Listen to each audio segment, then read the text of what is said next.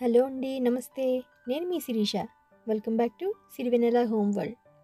ఈరోజు నేను చేయబోయే రెసిపీ ఏంటంటే టమాటా నిల్వ పచ్చడి.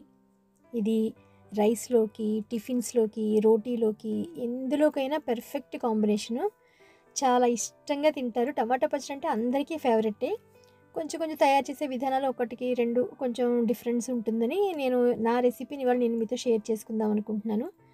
ఫస్ట్ టైం నా వీడియో చూస్తుంటే కనుక నా ఛానల్ సబ్స్క్రైబ్ చేసుకోండి. నచ్చితే మరో నలుగురికి షేర్ చేయండి. సో దీనికి కావాల్సినవి ఏంటంటే ముందుగా కట్ చేసుకున్న ఒక ఎనిమిది టమాటాలు తీసుకోవాలి. ముందుగా స్టవ్ ఆన్ చేసి కడాయి పెట్టుకుని అందులో కొంచెం ఒక టూ టేబుల్ స్పూన్స్ ఆయిల్ వేసుకున్నాక ఈ కట్ చేసిన టమాటాలను కూడా వేసుకుని మనం కొంచెంసేపు మగ్గబెట్టుకోవాలి.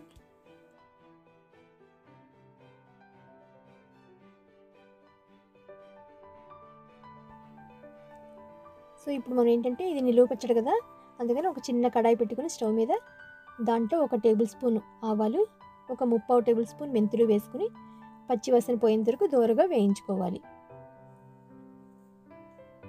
ఇది ఒక వారం పది రోజులు నిల్వ ఉంటుంది. ఫ్రిడ్జ్లో పెట్టుకుంటే ఇంకా నిల్వ ఉంటుంది. చూసారా దూరగా వేగాయి కదా మనకి ఎప్పుడైతే ఆవాలు చిటపట అంటాయో అప్పుడు వేగినట్టు వెంటనే స్టవ్ ఆఫ్ చేసుకుని దీన్ని చల్లారబెట్టుకున్నాక అప్పుడు మనం మెత్తటి పొడి కింద మిక్సీ చేసుకోవాలి.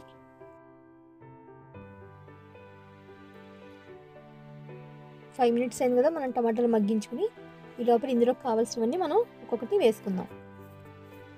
ఒక చిన్న ఉసిరికాయంత చింతపండుని వేసుకోవాలి.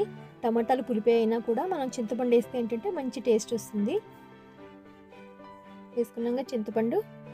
అలాగే ఇందులో ఒక పావు టీ ఒక హాఫ్ టీ స్పూన్ పసుపు. అలాగే ఈ టమాటాలకి నేను ఒక టూ టేబుల్ స్పూన్స్ సాల్ట్ వేస్తున్నాను. కానీ పచ్చడి కదా మనం ఒకసారి లాస్ట్లో కూడా చూసుకుని అవసరమైతే యాడ్ చేసుకోవాలి. కొంచెం పడుతుంది ఉప్పు. నేను ప్రస్తుతానికి అయితే టూ టేబుల్ స్పూన్స్ వేసాను. ఇవన్నీ కూడా మళ్ళీ మూత పెట్టి బాగా దగ్గరగా అయ్యేంత వరకు మగ్గించుకోవాలి.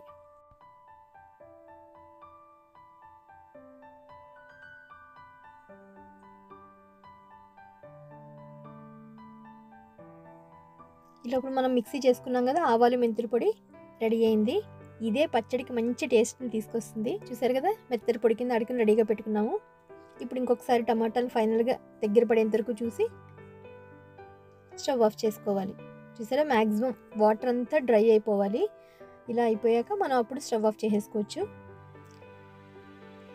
ఇక్కడే మ్యాక్సిమం గుజ్జులో అయిపోతుంది మనకి.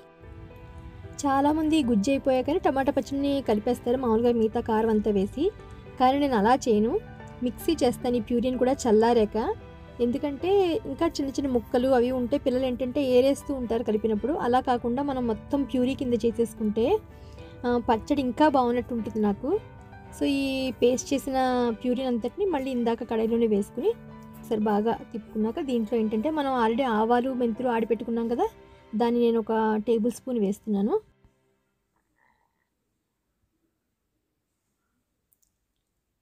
దీన్ని ఒకసారి బాగా కడిగి పెట్టుకున్నాక ఇందులోనే మనం కారం కూడా వేసుకోవాలి. నేను ఈ పచ్చడికి ఒక ఫోర్ టేబుల్ స్పూన్స్ కారం వేస్తున్నాను. మీరు కారం ఉప్పు మాత్రం లాస్ట్లో ఒక్కొక్కసారి టేస్ట్ చూసుకున్నాక అవసరమైతే యాడ్ చేసుకోండి. ఇది కూడా ఒకసారి బాగా తిప్పుకుని కొంతమంది కొంతమంది కారం ఎక్కువ తింటారు కొంతమంది మీడియంగా తింటారు కదా దాన్ని బట్టి నేను చూసుకుని యాడ్ చేసుకోమని చెప్తున్నాను. సో పై పోపుకి ఏంటంటే మళ్ళీ చిన్న కడాయి పెట్టుకొని అందులో కొంచెం ఆయిల్ వేసుకున్నాక ఒక పావు టీ స్పూన్ ఆవాలు వేసుకుని అలాగే ఒక ఎండుమిరపకాయ అలాగే కొంచెం ఇంగువ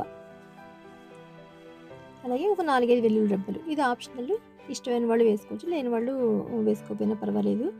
ఇవన్నీ ఒక్కసారి వేయించుకున్నాక స్టవ్ ఆఫ్ చేసి వేగిన తర్వాత దీన్ని చల్లారాక మాత్రమే అందులో కలుపుకోవాలి మనం. ఇంగు నూనె కదా మంచి సువాసన వస్తుంది. ఇప్పుడు పచ్చళ్ళలోకి ఇంగు నూనె చల్లారింది కదా చక్కగా మనం మంచిగా కలిపేసుకోవాలి. చూసారు కదా ఎర్రగా కారంగా చాలా బాగుంటుంది పచ్చడి. మీరు కూడా ట్రై చేసి ఎలా వచ్చిందో నా కామెంట్ రూపంలో తెలియచేయండి.